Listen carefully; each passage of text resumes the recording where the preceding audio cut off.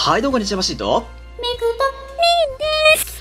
はい、さあ、本日紹介するのはこちら。じゃヌードルストッパーフィギュア、初音ミク、えー、チャイナバージョンですね。はい、えっ、と、1年前かなそうだね。はい。に、あの、ヌードルストッパーフィギュアのミクちゃん、えー、レビューしたと思うんですけども、あれの、まあ、続編に一応当たるものにはなりますね。はい。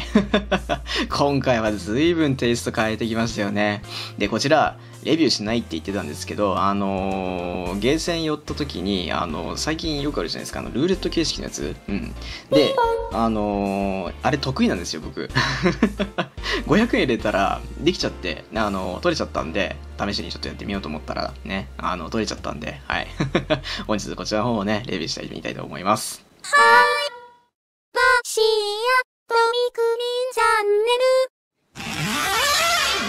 あんまりこういうこと言いたくないんですけど、あの、やっぱりこの今回のビジュアルがあまり良くなかったのか、あんまりこの子取られてない印象なんですよね。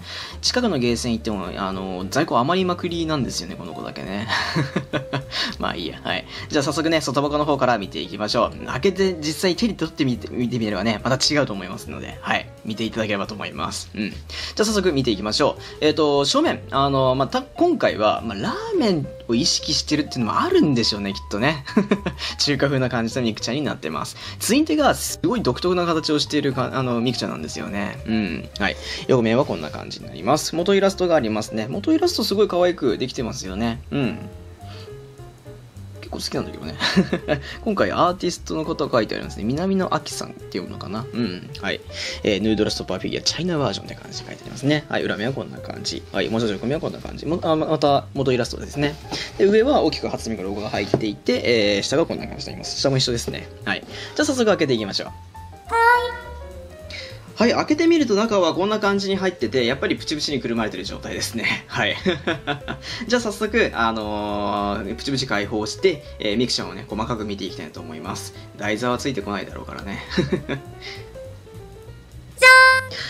はい、ではですね、完成しましたので、早速細かいところを見ていきたいなと思います。はい、思ったより、やっぱ出来細かいですね。造形めちゃくちゃ細かいな。うーん、これはやっぱりイラストに騙されず手に入れた方が良かったのかなっていう感じがしなくもないですね。はい。じゃあ早速ね、細かいところを見ていきましょう。はい、まずはお顔なんですけども、あのープリントが非常によくできていて、うん、割と悪くないんじゃないかなと思います。ごめんなさい、ツインテーが外れやすいです。はい。で、あの、今回はなんかやっぱり中華風っていう感じもあって、なんかすごい中華を意識してな感じの髪型にもなってますよね。うん、お単語状態って感じになってます。はい。で、あの、ミクちゃんがいつも髪につけてる髪留めの部分のデザインがここにも活かされてる感じになってますね。こういったあの、あれデザインアレンジ結構好きですね。アレンジデザイン結構好きです。はい。頭にはなんかよくわからない冠なのかな？髪留めなのかな？カチューシャなのかな？をつけてますね。はい。で、えっ、と、衣装はなんかどことなくドラゴンボールっていう感じがしなくもないような衣装を着てますよね。うん。1っていう漢字が書いてあって、おそらくミクちゃんのナンバリングである、な、あの、1をね、あの、漢字にしただけだとは思うんですけども、はい。この辺ミクちゃんの委託が感じられて、個人的には好きです。はい。で、ミクちゃんといえばやっぱりクロニーソなんですけども、クロニーソっぽいものを今回もやっぱり履いてますね。うん。足にこんな感じにつけてるような感じになります。はい。この辺は塗装で再現ですね。で、えっ、と、足のこのブーツみたいのも、ミクちゃんを意識したような感じのカラーリングになっていて、この辺も結構出来がすごいですね。細かいね。うーん、なるほどね。はい。うんうんうん。で、一番特徴的なのはやっぱり初音ミクといえばツインテールだと思うんですけども今回このツインテールが非常に独特な形をしてますよね。うん。いくつもなんかお団子をくっつけたような感じのものになっていてで先端部分のところに黒い大きなねあのー髪留めみたいなものをつけてますね。はい。これもやっぱりあのミクちゃんのねあのいつもつけてる髪留めを意識したような感じのデザインになってますね。はい。黒とマゼンタカラーって感じですね。はい。なるほど。結構細かくできててんな。あこれは見た目に騙されず買った方が良かったかもしれないですね。っていうのもやっぱりねフリュさんが作ってるっていうのもあって出来はめちゃめちゃいいんですよね。はい。で今回よいしょやっぱねヌードルストッパーフィギュアなんでもうかんこんな感じに置いてもなんか浮いちゃった姿になっていて非常にあのアンバランスというかよくわからない状態になっちゃうんですよね。で登場するのが、はい、カップ麺ですね。この上に乗せるような感じになります。そうすると、じゃんはい、こんな感じにしっくりくるね、形になるんじゃないかと思います。はい。あのー前が、前掛けの部分ですね。この前掛けの部分が、あの、カップ麺の端っこに来るようにですよね。あのーデザインされちゃってるので、どうしても、えー普通に飾るっていうのができないことになります。はい。なんで、カップ麺だとか、あとなんだろうね。ちょっと思いつかないんですけども。まあ、カップ麺の容器の上に乗せておくのが一番いいのかなという感じがしますね。うん、ただ、食べ終わった後のカップ麺の上に置くわけにはいかないし、置けないので、どうしても、この子に関しては、未開封のカップ麺を用意しないとちょっときついのかなという感じがしなくもないですね。あとはそうだな。マジカル未来のカンカンとかどうですかね。ああ、乗るな。ああ、なるほど。じゃあ、こういうのがあればいいのか。はい。なんか、こういう感じのものがあればいいのかなって感じがしますね。ああ、よかったわ。一応、ミクちゃん関連のものに乗ってくれてよかった。はい。って感じの飾り方になりますね。うん。まあ、ヌードルストッパーフィギュアっていう、まあ、いわ、まあ、っていう風なね、あの、売り方ではあるんですけども。うん。えっ、と、まあ、こういったカンカンの上にも飾ることはできますので、問題はないかなと思います。はい。じゃあ、この缶の上でいいかなに、あの、乗せてちょっとね、一周見てみましょうか。はい、完成しました。ヌードルストッパーフィギュア初音ミクチャイナバージョンになります。はい、チャイナバージョンって言えばね、あの、ミクちゃん V4C なんていうのもいますけども、はい。なんだかんだ、あの、中国とね、あの、ちょっとつながりがあるミクちゃんなんですけども、うん、あの中国の衣装といえば、なんかこんな感じじゃないっていうのが、あの、ビシバシ伝わるような感じで、可愛くデザインされてていいんじゃないかと思います。はい。匂い棒なんかを持っててくれて、うん、多分これ匂い棒だと思うんですけども、匂い棒じゃないのかな？うん、なんでいいや、とりあえずまあ、そんな匂い棒っぽいものを持っていて、どことなくドラゴンボールを感じさせるような感じのデザインにはなってるんですけども、はい。うん、あの、ドラゴンボールそんなに詳しくないんですけどね。はい。まあ、それでもよくできてるんじゃないかなと思います。はい。で、髪の毛のところとかも、あの、グラデーションが効かせてあって、うん、この辺の部分もやっぱりね、フリューさん結構こだわってやってるなっていうのがわかると、わかるかなと思います。前髪なんかもそうですね。はい。で、服の造形とかも結構細かいところまで塗装もしてあったりだとか、えっ、と、造形も細かくできていて、うん、あのー申し分ないフィギュアなんじゃないかなと思いました。結構気に入ったな。はい。やっぱね、実際手に取ってみてみると、なんか違うんだよね。うん。まあ、いい時もあるし、悪い時もあるっていう感じなんですけどね。実際箱で見てみて、あ、いいじゃんと思って撮ってみたら、まあ、中身ちょっとがっくりくるっていうパターンも中ない、中には、ないには、あるにはあるんですけども、うん。まあ、やっぱそれでもね、あの、手に取って、あ、やっぱり良かったなっていうパターンの方がやっぱり多いんですよね。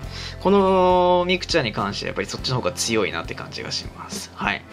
で、あの、以前なんですけど、1年前にレビューした子なんですが、あのもう一人カップ麺ミクちゃんですよね。ヌードルストッパーのミクちゃんもいるんですけども、こちらのミクちゃんですね。はい。このミクちゃんもすごい可愛くてよくできてましたよね。うん。やっぱりさすがフリューさんだなと思います。はい。うん、これでカップ麺のミクちゃんも2種類目になりましたんで、あのカップ麺食べるときですよね。あのどっちのミクちゃん使っても困らないんじゃないかなって感じがします。はい。前回のミクちゃんは外に非常に足投げてる感じで、なんかすごいセクシーな感じだったんですけども、今回はどちらかといえば、あの本当カップ麺作るにふさわしいミクちゃんなのかなっていう感じがしなくもないですよね。うん。気に入りました。使っていこうかなと思います。はい。で、えっ、と、ちょっとこのミクちゃんとは全く関係ない話で申し訳ないんですけども、こちらのヌードルストッパーのミクちゃん、こちらこちらの子ですね、が、あの、今回12月の26だったかなあたりに、あの、色変えバージョンで、どうやら再販が決定したみたいなんで、はい。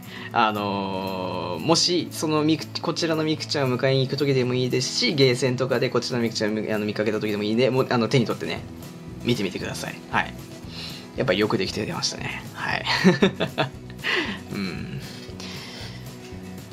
またちょっとカップ麺を作る時の楽しみが増えたかもしれませんね。はい、というわけで、えーヌードルストッパーフィギュア初音ミク、えーチャイナバージョンの紹介でした。非常によくできた子だったんじゃないかなと思います。はい、あのーやっぱりフリューさんが作ってるだけあって、造形とかカラーリングとか非常によくできてるんですよね。はい。うん、やっぱり見た目だけでね、判断しちゃダメっていうのが、このフィギュアでまたちょっと勉強になったのかなって感じがしなくもないですね。はい。小さいながらもよくできてるんですよ。あの、本当に figma ぐらいの大きさなんですよね。大きさだけで言うのであれば。うん。あの、 figma のリンちゃんとちょっと比べてみてもわかるかなと思うんですが、顔とかの大きさはほぼほぼ一緒なんですよ。うん。で、腕とかの細さなんかもやっぱり figma と同じぐらいですので、あの、この小さい中に造形とカラーリング全部詰め込まれてるんですよ。やっぱりプライスとは思えないような造形あの出来なんですよね。うん。スケールフィギュアって言っても過言ではないのかなって感じがしなくもないのかなって感じになってます。はい。よくできたことだなと思いました。うん。よいしょっと。迎えて正解だったのかもしれないね。もしかしたらね。うん。で、実用性のあるフィギュアってなかなかないじゃないですか。うん。まあそんな中でね、ヌードルストッパーフィギュアっていうブランブランドっていうかね、あのシリーズなんで、そういった意味でも使えるんじゃないかなっていう感じがしますよね。うん。ちょっと飾り場所には困る子困る子かもしれないんですけども、はい。まあその点も加味してよくできた子だったんじゃないかなと思います。はい。えっ、と、まだ出たばっかりってわけじゃないんですけども、1ヶ月ぐらい前に出てる子なんですけども、まだゲーセンでちょいちょい見かけますので、もし見かけた際は迎えてあげてください。はい。あの、バシオとミクチャンネルがおすすめするフィギュアになります。はい。うん。で、えっ、と、12月の26日ですね、えっ、と、1年前に発売された、あのゲーセンで出た、えーヌードルストッパーのミクちゃんが再販されるそうなので、そちらの方もね、後で、あのまた撮れたらレビューしてみたいなと思います。はい。というわけで、えー初肉ヌードルストッパーフィギュア、えーチャイナバージョンの紹介でした。紹介したバシーと、ミクとミンでした。